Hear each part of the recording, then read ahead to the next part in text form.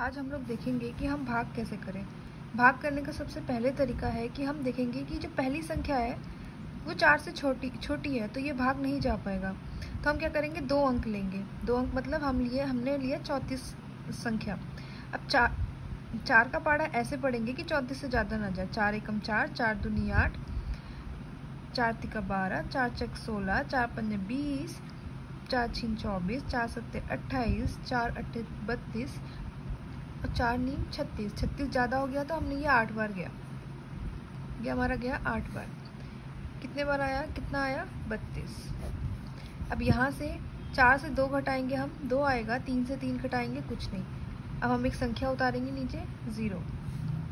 अब चार का पाड़ा ऐसा पढ़ेंगे कि बीस से ज़्यादा ना जाए। चार एकम चार चार दूनी आठ, चार तीन बारह, चार चक सोलह, चार पन्ने बीस। कितना आ गया? पाँच बार गया, बीस। फिर हम इसे घटाएँगे ज़ीरो से ज़ीरो, दो से दो। अब हम नीचे उतारेंगे तीन।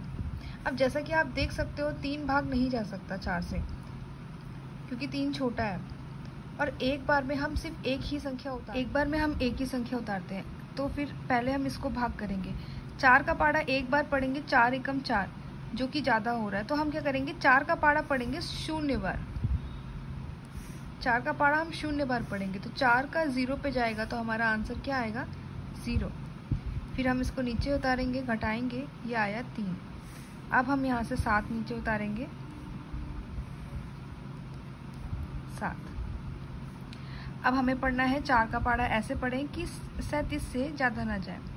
चार एकम चार चार दूनी आठ, चार तीन बारह, चार चक सोलह, चार पंद्रह बीस, चार छीन चौबीस, चार सत्तर अट्ठाईस, चार अट्ठे बत्तीस चार नीम छत्तीस और चार दाई चालीस। चालीस ज़्यादा हो गया तो हम चार नीम मतलब नौ बार।